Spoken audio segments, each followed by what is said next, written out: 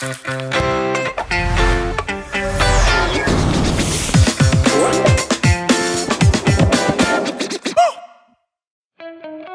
дети учатся говорить, первое их слово – «мама». Когда мы, познавая науку, знакомимся с химией, то первое, что мы слышим – H2O. H2O – это научное имя воды. О ней мы сегодня узнаем много интересного. Вода повсюду, она и вокруг нас. В океанах и морях, реках и озерах, в дожде и снеге, в льдинах и водопроводных трубах, в еде и питье. Она и в нас самих. Мы на две трети сделаны из воды. Мы так привыкли к воде, что ее странности нас не удивляют. А ведь и вода, и взрывоопасный гремучий газ созданы из тех же водорода и кислорода. Почему же вода не горит? Это ее первая странность. Вода – поразительная жидкость. У нее есть аномалии. Природе и опытах она ведет себя не так, как другие вещества. Но благодаря ее капризам жизнь смогла развиться и существовать в воде. Итак, аномалия воды – высокая теплоемкость. Что такое теплоемкость? Это количество тепла, поглощаемого веществом при нагревании на 1 градус. У воды теплоемкость в 10 раз больше, чем у железа. Что это значит и хорошо это или плохо? Давайте разберемся. Вода нагревается в пятеро медленнее песка. Помните, каково это – идти вдоль реки в жару? Песок горячий, а вода прохладная или теплая. Воду сложно нагреть. Чтобы поднять ее температуру на 1 градус, тепла потребуется в три с половиной тысячи раз больше, чем для нагрева одного литра воздуха. Из-за исключительной способности воды поглощать тепло, температура ее при нагревании и охлаждении меняется незначительно. Поэтому морским обитателям никогда не угрожает ни сильный перегрев, ни чрезмерное охлаждение. Еще одна похожая аномалия воды связана с ее высокой скрытой теплотой испарения. Что это значит? Что выпарить всю воду из чайника будет очень сложно. Если бы не это свойство, даже в жару медленно испаряться, то озера и реки летом пересыхали бы до дна. Замерзая, вода тоже отдает много тепла. Один литр воды, превращаясь в лед, может подогреть на 1 градус 250 тысяч литров воздуха. Вот почему в теплице ставят на ночь бочки с водой. Замерзая, она выделяет тепло и согревает воздух. Как видите, все свойства воды словно созданы для того, чтобы сохранять и охранять жизнь на Земле, делать существование всех ее обитателей безопаснее. Вода не только источник жизни, она не только питает живые организмы, но еще и является прекрасной средой обитания. Расскажем еще про одно интересное свойство воды. Замерзая, она расширяется и увеличивается на 9% к прежнему объему. Поэтому лед всегда легче незамерзшей воды и всплывает вверх. Поэтому редкий водоем промерзает до дна. Лед – отличный теплоизолятор. Под такой шубой даже зимой в Арктике морским животным не очень холодно. Так вода в природе снова и снова защищает живые организмы, спасает их жизни. Знаете, сколько воды в человеке? Очень много. Во взрослом человеке, который весит, скажем, килограммов 70, 50 килограммов воды. И каждый день человеку необходимо выпивать 2 литра воды, не меньше.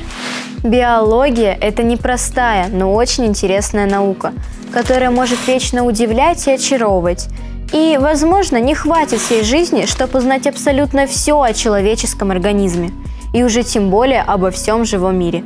Настолько сложны эти системы. Мы собрали для вас много невероятных фактов, которые вы не найдете в школьных учебниках.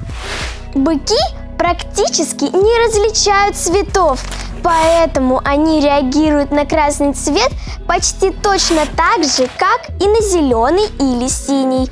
На быка раздражающе действует не красная тряпка, а то, что кто-то машет чем-то перед его носом.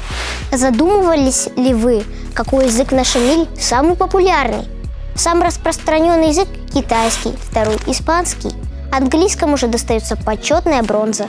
Помимо Луны, еще шесть астероидов сопровождают Землю, двигаясь по ее орбите вокруг Солнца. Один из них – Круин, диаметром более 5 километров, находится в 15 миллионах километров от Земли. Алмазы образуются в земной коре на расстоянии более 200 километров – только благодаря извержениям вулканов. Средний возраст любого бриллианта около полутора миллиардов лет. Самый замечательный двигатель, самый совершенный в мире мотор – наше сердце. Сердце человека с такой силой выбрасывает кровь в артерии, что она оббегает все тело и возвращается к месту старта за 30 секунд. У сердца не 8-часовой рабочий день. Оно толкает кровь круглые сутки. За 70 лет оно перекачивает 250 миллионов литров крови. Лишь небольшой паузы в одну треть секунды ему достаточно, чтобы отдохнуть. Когда мы смотрим на что-нибудь, в глаза попадают лучи света. Они могут идти прямо от солнца или от лампы, но чаще всего это отраженный свет. Поверхности предметов отражают свет по-разному, поэтому мы видим мир богатыми цветами и формами. Знаете ли вы, что коровы, как и мы, могут чувствовать боль расставания, если их отрывают друг от друга? Они также понимают, когда их обзывают, и могут плакать. Знаете ли вы, что около половины населения Земли никогда не видели снега? Можете не пробовать искать две одинаковые снежинки, ведь таких нет. Знаете ли вы, что более умные люди просыпаются и ложатся позже, чем остальные? А как поздно ложитесь спать вы? Сколько часов вы спите в день? Вы не сравните с коалами, которые спят от 18 до 22 часов в сутки. Как думаете, только кошки могут мурлыкать? А вот и нет, белки тоже могут это делать. Знаете ли вы, что белка управляет своим полетом благодаря своему хвосту? Вы любите обниматься? Знаете ли вы, что объятия могут облегчить боль и повысить настроение? Кстати, в день нужно обниматься от 4 до 8 раз. Вы левша или правша? Знаете ли вы, что в мире всего 7% левшей? Для левшей сделали отдельный день, 13 августа, день левшей. Интересно, как долго спят кошки? Оказывается, они спят больше половины своей жизни. Кошки спортивные, они могут прыгать в высоту в пять раз превышающую их рост. Попробуйте улыбнуться кому-то, и он ответит вам тем же. Так устроен человек. Как часто вы улыбаетесь? В среднем человек за день улыбается 11 раз. Вы пробовали чихнуть с открытыми глазами? У вас все равно не получится. Знаете ли вы, зачем мы вообще чихаем? Так мы очищаем себя от бактерий. Знаете ли вы, что не все вирусы вредны? Некоторые из них даже помогают нам во время болезни. У вирусов, как и у нас, есть гены. Знаете ли вы, что утенок считает своей мамой того, кого увидел первым после рождения? Это явление называется синдром утенка. Знаете, какой орган у человека самый жирный? Это мозг. Да, наш мозг на 60% состоит из жира. Иначе он не сможет думать, да и вообще нормально функционировать, управлять организмом. Сегодня мы узнаем много интересного о возможностях нашего мозга. Все, что мы знаем о мире, о его красках, запахах, звуках, о форме, твердости и тепле всех предметов вокруг, мы знаем благодаря нашим чувствам. Нервы – это те каналы, по которым мозг получает информацию обо всем вокруг нас. Поэтому от правильной работы мозга зависит то, каким мы воспринимаем мир. Наш мозг позволяет нам думать, создавать и чувствовать, и получать, хранить и извлекать воспоминания.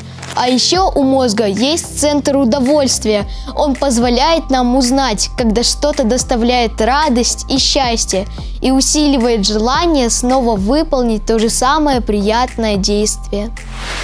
А еще мозг вырабатывает электроэнергию около 12 ватт. Это может увеличиваться до 25 ватт если ваш мозг работает над какой-то сложной задачей. Много ли это? Достаточно для питания одной светодиодной лампочки. Мозг отвечает за координацию, за правильную работу всех органов, за здоровье, выработку гормонов, которые позволяют сохранить молодость. Каждую секунду в человеческом мозге происходит около 100 тысяч химических реакций. Эти реакции необходимы для нормального функционирования и невозможны были бы без жиров. Поскольку мозг на две трети состоит из жира, то для его полноценного питания важно употреблять в достаточном количестве жирные продукты, особенно в детском возрасте. Если полностью отказаться от жирной пищи, мозг будет работать плохо. Исследования ученых показывают, что интеллект быстро и значительно снижается при полном отказе от жиров в питании. Так что для того, чтобы быть сильным и здоровым, иметь хорошую память и долго не стареть, необходимо, чтобы в организм поступало достаточное количество полезных жиров, натуральных, ни много ни мало, а столько, сколько нужно. Так в чем же содержатся полезные жиры? В сливочном и растительном масле, сметане, мясе и рыбе, в грецких орехах, сыре и авокадо. Суточная норма жира рассчитывается по-разному для детей и взрослых. Как узнать, сколько жиров нам необходимо?